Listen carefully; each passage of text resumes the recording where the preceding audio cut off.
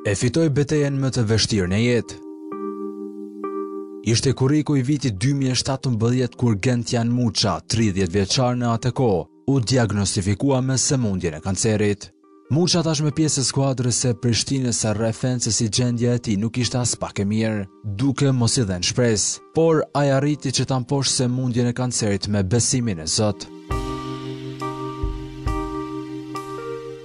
Është e vërtetë që një gjë e tillë nuk ia uron as armikut, po themi që t'i ndodhë, por Erdhi dhe tashmë duhet të përballesha me të, falë Zotit dhe falë besimit që kam në të, falë mbështetjes së familjes, shoqërisë e gjithë opinionit sportiv atje në Shqipëri, por edhe më gjerë, arrita të përballesha, po themi, me besim të plotë, falë Zotit, ajo ishte e kurueshme dhe specializimit që ishte atje në Itali për të tilla sëmundje, më ka ndihmuar shumë edhe Trajtimi që më kanë bërë atje, domethënë vërtet nuk ndihesha i sëmurë po themi dhe falë Zotit e kalova me sukses, ishte një periudhë shumë e gjatë. Një betejë e ashpër e ish-kapitenit të Tiranës, me sëmundjen të cilën e fitoi pas rreth një viti, duke u rikthyer në fushë pas plot shtatëqind e shtatëmbëdhjetë ditësh. nga një lëndim në tjetrin dhe nga një operacion në tjetrin, nga një kurë në tjetrën, dhe mbas afro gati një vit, një vit e gjys nëpër spitale, më në fund arrita të filloja përsëri të vrapoja, të stërvitesha, u deshën një tre muaj rekuperim, sa në fushë, sa në palestër, po ashtu edhe në fizioterapi dhe mbas plot dy vit e gjys kam debutuar. Risqet ishin të mëdha, pasi përtej asaj sëmundjes ishte edhe Problemi pasi kam një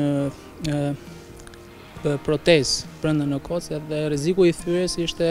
prezent. Muça ka një mesazh për të gjithë ata që një ditë mund të kalojnë sfida të tilla.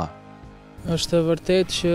kam qenë pak i ndrojtur në fillim, por më pas vendosa ta bëja publike. Por për më tepër për t'i ardhur në ndihmë shumë njerëzve të cilët ndoshta i duket e pamundur që një kjo gjë brenda një kohe kaq të shkurtër të ndodhë dhe të rikthesh përsëri në futboll, e rëndësishme është që të kesh njerëzit e duhur afër, mos të humbësh kurrë shpresën, pasi mrekullitë jo vetëm që ndodhin, por ato janë këtu, domethënë janë prezente, mjafton vetëm t'i besosh ato me shpresë, me durim, me sakrifica dhe sigurisht me mbështetjen që ti ke ndaj Zotit. Dy ekipet kryeqytetase, të cilat kanë edhe të njëjtat ngjyra bardhekaltër, kanë edhe një gjë tjetër të përbashkët sipas Muçës. Përveç se kanë një unitet të veçantë për sa i përket jo vetëm skuadra por edhe ve tifozërisë, presioni është i njëjtë si në Tiranë dhe në Prishtinë, krahasim me skuadrat e tjera. Në fund tridhjetë e tre vjeçari flet edhe për mundësinë që Prishtina të shpallet kampion i Superligës së Kosovës në futboll.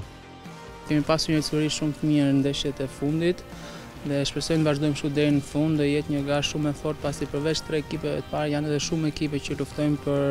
objektiva të ndryshëm, kështu që çdo ndeshje do vlerësim maksimal, do përqendrim edhe nuk ka asnjë ekip të lehtë në letër. Gentian Muça i dha fund aventurës me kampionët e Shqipërisë Tiranës në verën e vitit dy mijë e njëzet, duke u transferuar tek skuadra e Prishtinës.